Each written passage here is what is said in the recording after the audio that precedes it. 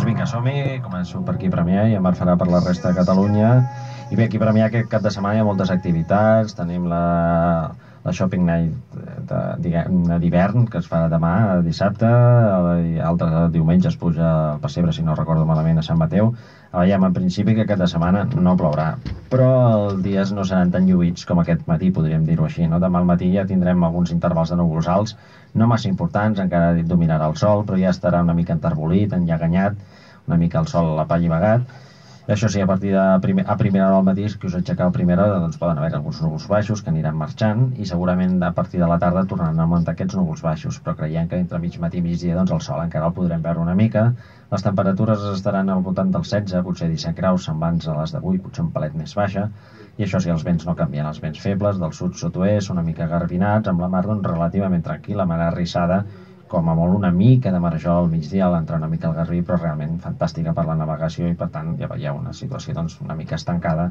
I bé, com abans per diumenge, doncs, la situació doncs, podríem dir que serà la mateixa, el que passa que com que els vents giraran una mica en alçada ben al sud-oest, això farà que ens, ens acostin més núvols alts, més núvols mitjos, fins i tot podríem tenir el cel més tapat, no tapat del tot, segurament al migdia podríem tenir algunes clarianes, però eh, creiem que els núvols dominaran més que el dissabte hagut uns canvis en els models i sembla que el diumenge podria estar força més tapat. No és impossible que pogués caure alguna goteta, algun petit plogim, però vaja, no ho consideraríem pluja, sinó que més aviat serien quatre gotes, com a molt mullar al terra, si arriba a produir-se, perquè realment la situació no és favorable pel que passa al canvi. En canvi, com que estarà més tapat, donarà una sensació més d'humitat, més de fresca, i això farà que la temperatura màxima del diumenge no passi d'uns 15 graus. Els vents continuaran febles, de mar cap a terra, podríem dir jo una mica de, del sud, fins i tot una altra vegada garbinats, però realment febles, i la mar doncs, no tornarà a passar de mar arrissada com a molt marejol. Dilluns, com abans, ens arriba una petita pertorbació que sí que per l'oest de la península donarà força més pluja, en canvi nosaltres ens arribarà, diguem a les escorrialles, molt desgastada, donarà força núvols, alguna goteta despistada, però atenció perquè aquesta podríem dir que és la notícia de la setmana que ve, cosa que ens, realment ens sorprèn que aquestes dates d'època estiguem així, però entre el dimarts i el diumenge de la setmana passada, és a dir, déu nhi quants dies, torna l'anticicló, però és que aquest cop torna amb més ganes i atenció, torna amb una situació amb una bombolla una mica càlida, que no ens estranyaria que entre el dimecres i el divendres de la setmana que ve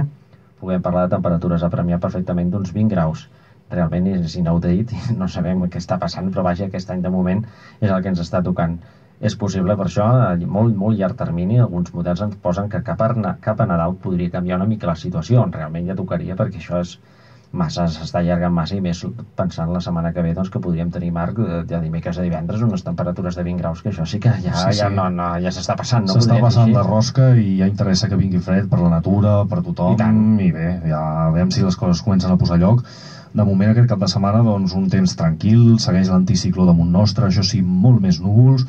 en conjunt un dissabte força més assolellat i un diumenge bastant més ennuvolat, tot i que demà dissabte, déu nhi els núvols poden ser abundants en algunes zones, núvols baixos, mala visibilitat, boires, boires intenses cap a l'interior, les de la depressió central i les de la plana de Vic podríem dir, aquestes es dissiparan a mesura que avanci el dia, però les de Ponent, Vall de l'Ebre, aquestes poden persistir tant dissabte com diumenge, amb unes temperatures demà dissabte bastant estables. Sí que diumenge, a la nit de dissabte a diumenge serà més càlida, les temperatures nocturnes pujaran amb molt poquetes glaçades a l'interior i en canvi diumenge les temperatures de dia podrien baixar una mica per la presència de més núvols i el sol serà una mica més car de veure, però vaja, en conjunt no s'esperen cap precipitació. Els vents seran fluixos, del sud, sud-oest, potser demà dissabte una mica més reforçats cap a la Costa Brava, però vaja, de forces 2-4 com a molt, i aquesta mar en estat d'arrissada o potser marejola en algun punt de la costa, però vaja, una situació marítima i de vents molt tranquil·la i aquestes temperatures que fins i tot volen tirar cap amunt la setmana que ve. Dilluns ens passa aquesta cueta de front, força núvols, potser alguna goteta o algun floc de neu a cotes bastant altes cap al Pirineu, i el que te comentava l'Enric, entre dimarts, dimecres i fins a finals de setmana, de la propera setmana, una bombolla d'aire càlid amb temperatures potser de 15 graus a 1.500 metres d'alçada, que és molt en aquesta època, doncs ens visitarà amb aquestes temperatures desbocades, aquests termòmetres que faran que la neu es desfaci segurament en moltes zones de muntanya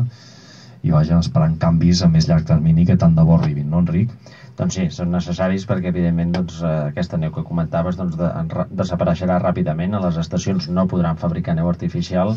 i no és bo per la natura, tornen a aparèixer insectes que no tindrien que ser en aquestes èpoques de l'any i realment doncs, la natura necessita fred, una mica de fredor per descansar Sí, com sí. és el que toca. Sí que els mapes no, cap al 20-22 intueixen ja baixades de temperatura, potser més possibilitats de pluja, però ja ha passat festes, potser, no? Sí, segurament eh, això ja passat seria... festes o ha passat els dies de, els dies de Nadal, potser. Sí, sí, ara en les últimes sortides ens ho marcaven, com que no fem el programa la setmana que ve, us ho comentem, sembla que en les últimes sortides ens marquen algun canvi amb una mica de cara i ulls, sense ser res de l'altre món, seria cap als voltants de Nadal, dia abans, dia després. A veure si és així, perquè realment fa molta falta. Bé, acabem aquí, ens retrobem el proper any, que passeu unes bones festes i una molt bona entrada de l'any 2016. Bona nit, bon cap de setmana a tothom. Adéu-siau, molt bones festes, bona nit.